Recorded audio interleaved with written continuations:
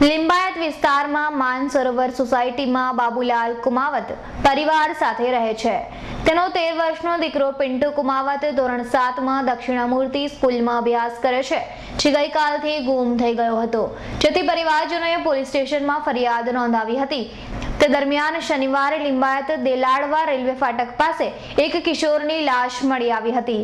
તપાસ કરતા ગુમ પિન્ટુની લાશ હોવાનું બહાર આવ્યું હતું. જેથી લિંબાયત પોલીસનો કાફલો ઘટના સ્થળે દોડી ગયો હતો.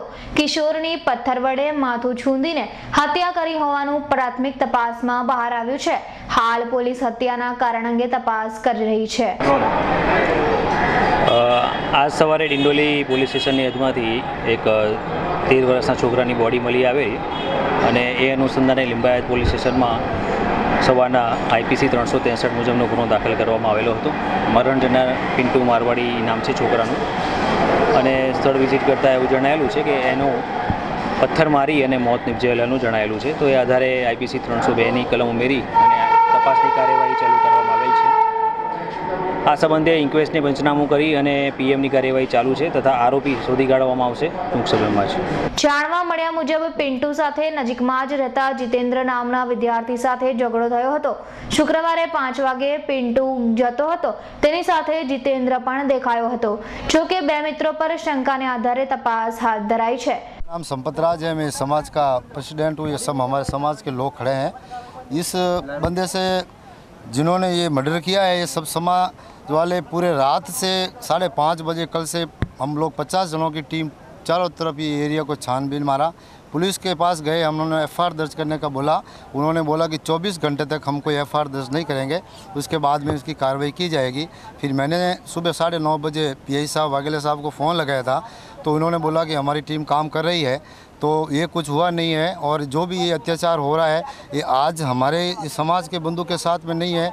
अगर पुलिस समय पर कार्रवाई नहीं करेगी तो आने वाले टाइम में ये एरिया बहुत ही संवेदनशील एरिया बन जाएगा। रात को वीडियो भी बताया और इनको हमने वीडियो फुटेज बताया इनको कि भाई ये तेरह साल का बच्चा है वीडियो फुटेज बताया इनको भाई कि देखो ये बच्चा इसको साइकिल पर लेके वहाँ जा रहा है वो जा रहा है। तो पुलिस इस बारे में बिल्कुल उसने ध्यान नहीं दिया इनको गिरफ़्तार किया जाए लेकिन पुलिस ने बिल्कुल ध्यान नहीं दिया आज ये दुर्घटना जो हुई है ये इसमें चौकस है कि इसमें प्रशासन की फेलियर है। कल शाम को साढ़े चार पाँच बजे से बच्चा बच्चा घर से गायब है। पुलिस स्टेशन जाने पे उनको संतुष्ट जवाब नहीं मिला और स्टाफ की कमी होने का जो प्रशासन के द्वारा रोना रोया गया उसका परिणाम आज ये सामने आया है। अभी समाज की खाली कुमावत समाज ये पूरे राजस्थानी समाज का बच्चा है पूरे गोड़ादरा समाज का बच्चा है। अब समाज की डिमांड है।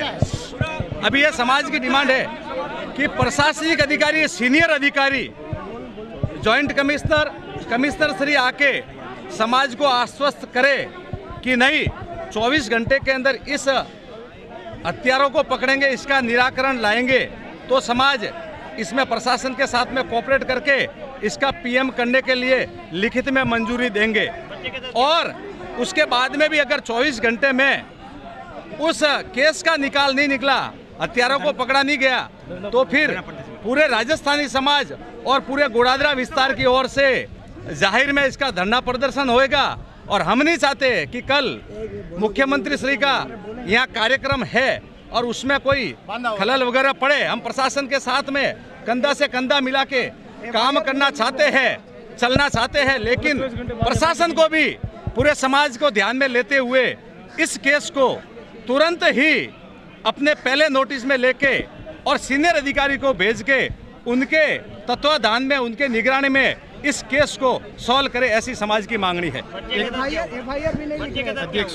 बच्चे के साथ में जो उसका बॉडी देखा है उस बॉडी के हिसाब से बच्चे का रितसर मर्डर हुआ है। मुँह पर उसके मुँह पे उसकी पहचान छुपाने के लिए उसके मुँह पे पत्थर रख के मतलब पत्थर मार के उसका मुँह कुचला गया है और प्रथम दृष्टि इसमें ऐसा लग रहा है कि ये एक लड़के का काम नहीं है मुख्यतः इसमें चार पांच जने और वो भी बालिंग उम्र के लड़के उसमें शामिल है ऐसा हमारा अंदेशा है આ બાબતે સામાજિક અગ્રણીઓ પરિવારજનોએ પોલીસને કાર્યવાહીને નિષ્ફળ ગણાવીને તે માટે જ બાળક મોતને ભેટ્યો હોવાના આક્ષેપો કર્યા હતા બ્યુરો રિપોર્ટ સુરત